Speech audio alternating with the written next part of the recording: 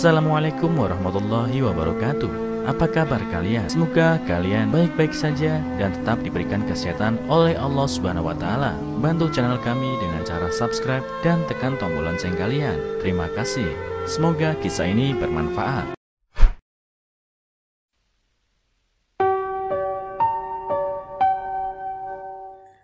Mengagumkan, bocah berusia 11 tahun ini berhasil mendapatkan tiga gelar sarjana sekaligus. Semua orang tua yang ada di dunia ini tentunya menginginkan dan berharap jika anak yang disayanginya bisa mendapatkan pendidikan yang terbaik.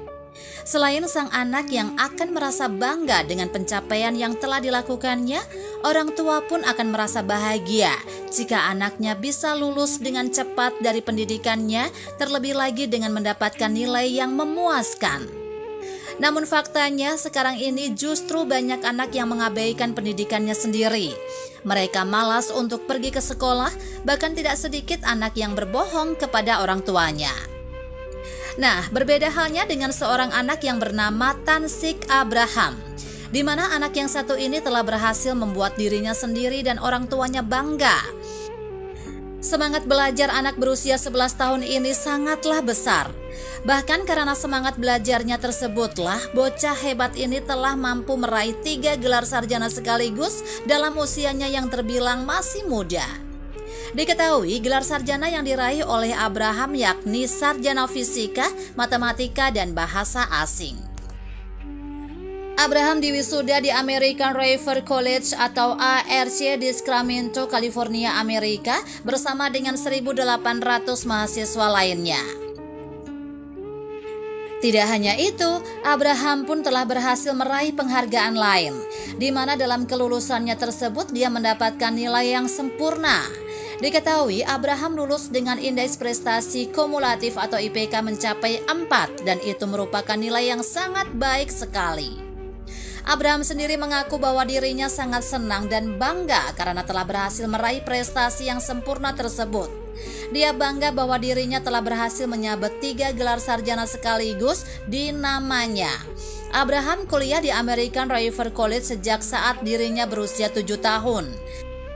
Karena usianya yang masih sangat muda, pada saat itu pihak kampus belum bisa memastikan bahwa dia bisa meraih gelar sarjana terbanyak dalam sejarah yang pernah ada. Namun meskipun begitu, pihak kampus pada saat itu memastikan bahwa Abraham merupakan mahasiswa yang paling muda dibandingkan dengan mahasiswa lainnya yang belajar di sana. Bahkan bukan hanya Abraham saja, tetapi kedua orang tuanya pun patut berbangga hati karena mereka telah dikaruniai anak-anak yang cerdas dan hebat. Kakak perempuan Abraham pun dikatakan memiliki kemampuan lebih, di mana sama halnya seperti Abraham, kakaknya pun masuk bangku kuliah saat dirinya masih berusia tujuh tahun. Setelah lulus dengan tiga gelar sarjana sekaligus, Abraham ingin melanjutkan pendidikannya. Abraham tidak pernah merasa bosan untuk belajar karena setelah lulus dari ARC dengan tiga gelar sarjana sekaligus, dia berniat untuk melanjutkan pendidikannya dan ingin lulus di Fakultas Kedokteran. Abraham memiliki cita-cita untuk menjadi seorang dokter dan peneliti kesehatan.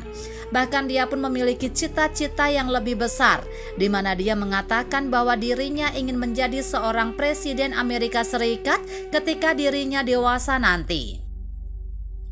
Nah, sahabat, kisah Abraham sangat menginspirasi kita semua untuk selalu semangat belajar di mana pun dan kapan pun itu. Bukan hanya itu saja, apa yang telah dicapai oleh Abraham mampu membuka mata dan hati kita semua bahwa di dunia ini segala sesuatunya tidak ada yang tidak mungkin jika kita ingin berusaha dan berjuang untuk mewujudkan apa yang kita harapkan. Bagi Anda yang belum berhasil dalam mencapai sesuatu, mulai dari sekarang janganlah pernah merasa berputus asa. Teruslah semangat mengejar impian dan janganlah pernah menyerah. Ingatlah, orang tua Anda telah menantikan kesuksesan Anda. Semoga Anda semua terinspirasi untuk selalu memberikan yang terbaik dalam hidup ini.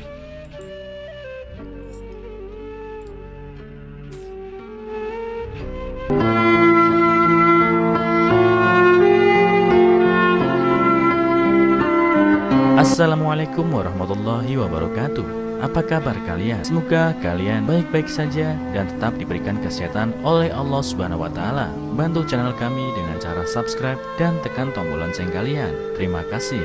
Semoga kisah ini bermanfaat.